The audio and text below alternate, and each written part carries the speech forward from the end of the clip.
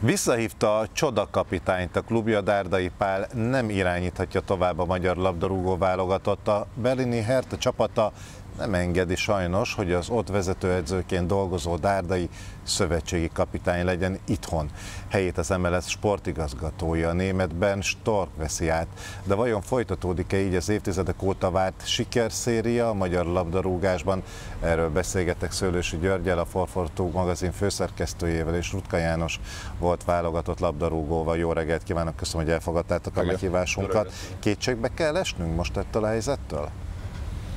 Mm, nagy változásokat hozhat nyilvánvalóan, hiszen pont az a fanatizmus és az az eltökéltség, ami eddig szerintem ugye a pluszt és az eredményeket hozta, az most kikerül a, a rendszerből, és egy olyan kapitányunk lesz, ugye, amelyik azért nem tud a saját anyanyelvén a játékosokhoz szólni, kvázi ezeket a az emóciós dolgokat. Hát igen, most ugye mondott a Pali is, hogy ő ugye az elmúlt időszakban német fejjel gondolkozott, de szívvel, tehát magyar szívvel irányította a csapatot.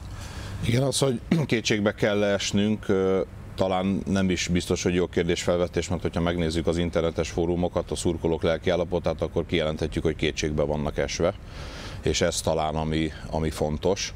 Azt nem tudjuk, hogy a játékosok is hasonlóan kétségbe vannak esve, hiszen ez is nagyon fontos. Igen, de azért még egy kicsit mindig pessimisták voltunk, nem?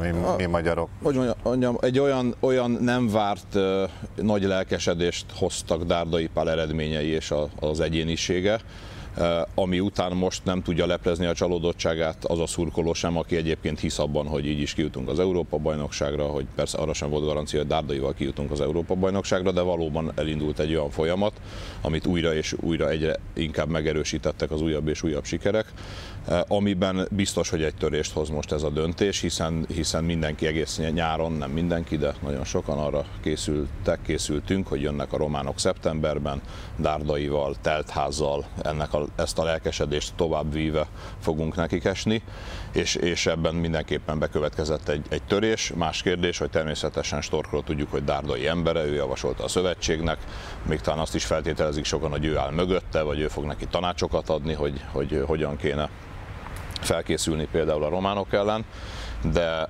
de minden, tehát ezt meg nem történt tenni, vagy kiverni a fejekből, hogy nem Dádai Pál ül a kispadon, az biztos, hogy sem a játékosok, sem a szurkolók esetében nem, nem lehet. János, ezt leginkább te fogod tudni megmondani nekünk. A válogatott játékosai ilyenkor hogyan gondolkoznak, vagy hogyan gondolkodtál te, hogyha egyáltalán volt neked ilyen helyzetet, az egyik kapitány helyett jött egy új, mert ugye a Stork most ugye azt mondja, hogy ugyanazt a szellemiséget folytatja. Van ilyenkor a játékosokban egy ilyen pozitív dafke, hogy akkor is tovább visszük ezeket a sikerszériás eredményeket, mint amit a Pali elért velünk? Szerintem ez játékosa válogatja. Nekem szerencsére nem volt ilyen helyzet a pályafutásom során, eh, amikor szövetségi kapitányt idő előtt menesztettek volna. Ugye általánosságban szakaszokra, EB ciklusokra, VB ciklusokra szerződhetik a, a kapitányokat. Az én időmben ugye ezek a ciklusok azért megvoltak, meg két évente, mivel hogy nem jutott eh, ki hosszú ideig válogatott, ugye világeseményre váltották is őket, de csak nagyobb sikertelenség esetén eh, van az, hogy akkor idő előtt, mint mondjuk Pintér Attilát menesztette a szövetség. Viszont most egy sikerszériából meneszt, vagy nem menesztik, hanem ugye cserélik a kapitányt, bocsánat a kifejezésén. Ez én úgy gondolom, hogy lelkileg nem egy pozitív irány a játékosoknak sem. Sajnos nem bővelkedünk még jelen pillanatban sem olyan játékosokkal, nagy, nagy számban, nagy mennyiségben, akik Európa szinten meghatározóak lennének.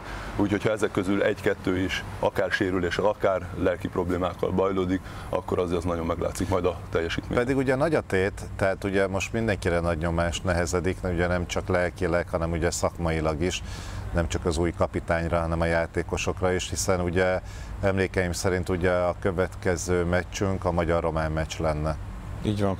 És ott muszáj pontot szerezni. Szeptember 4-én, és azután Észak-Írországban megy a csapat három nappal később ezen a két meccsen nagy valószínűséggel eldől az, hogy esetleg sikerül az első két továbbjutást jelentő hely valamelyikére felkapaszkodni, vagy stabilizálni a, a, a harmadik helyet a csoportban, ami legalább pótselejtezőt ér.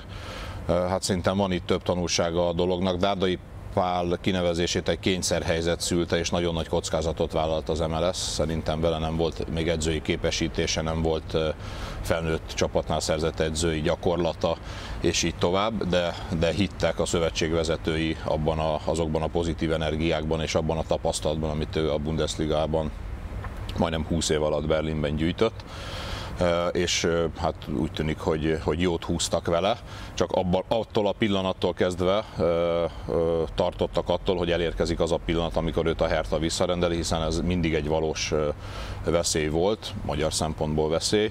Már akkor is, amikor Dárdai, amikor még szó sem volt arról, hogy Dárdai az első csapatot bent tartja a Bundesligában, hanem az utánpótlásnál dolgozott, akkor is fenntartotta a jogot a Hertha arra, hogy már pedig bármikor visszarendelje őt.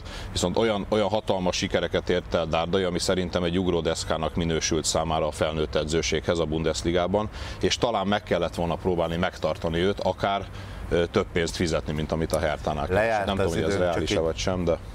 Lejárt ez csak egy igen nemre lennék kíváncsi. Folytatódik a sikerszéria? Én vártam a kérdést, hát a románok ellen csak győzelemmel lehet számolni. Természetesen optimista vagyok, de a realitások azt mondatják velem, hogy harmadikok leszünk a csoportban, és a pótselejtező az nagyon kétes kimenetelő. Köszönöm, köszönöm, hogy itt voltatok. Köszönjük szépen.